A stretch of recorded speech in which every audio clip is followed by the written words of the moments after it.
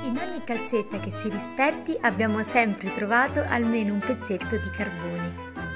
Che, vi devo dire, in fondo in fondo a me piaceva tanto. Avete mai pensato di farlo in casa? Vi spiegherò come, seguite bene il video e tutti i passaggi e trucchetti che vi darò e non vi resterà molto difficile, ma ora iniziamo. Ricordate di iscrivervi al canale.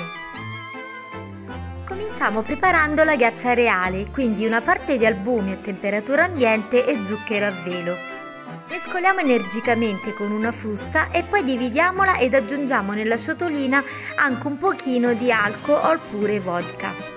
Colorante alimentare nero, dopodiché in una pentola mettiamo lo zucchero semolato e l'acqua fino a coprirlo e via cuocere sul fuoco basso. Una parte della ghiaccia io l'ho colorata anche con del colorante verde proprio per ottenere il carbone colorato che tanto piace ai bambini e vi consiglio come sempre i coloranti in gel. Nel frattempo il nostro zucchero inizierà a bollire e quando avrà raggiunto una consistenza un po' più cremosa e schiumosa e quindi un colore bruno, inizia ad aggiungere a filo la ghiaccia reale e velocemente con una frusta inizia a mescolare. Mantenendo la pentola sul fuoco minimo, noterai che lo zucchero inizierà a gonfiarsi e quindi a raddoppiare di volume. Questo avviene grazie ad una reazione chimica che c'è tra gli albumi e l'alcol. Io l'ho fatto così senza termometro da cucina, però più o meno la temperatura si aggira intorno ai 145 Prepara gradi. Prepara stampo e rivestilo con della carta forno e versaci dentro il composto zuccheroso. Solidificherà entro pochissimo tempo e basterà dopo romperlo in tanti piccoli pezzettini.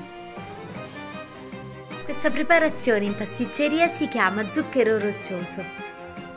Per completare la calzetta poi inizia a formare tanti biscotti e decorali con la ghiaccia reale, magari quella che ti è avanzata nella preparazione appunto del carbone.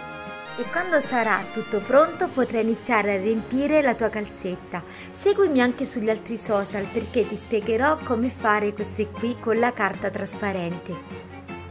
Ed inoltre fammi sapere se la mia ricetta ti è piaciuta e di che colore preparerai il tuo. Ci vediamo qui lunedì prossimo con il nuovo video, ma ti aspetto su Instagram e TikTok per conoscerci meglio.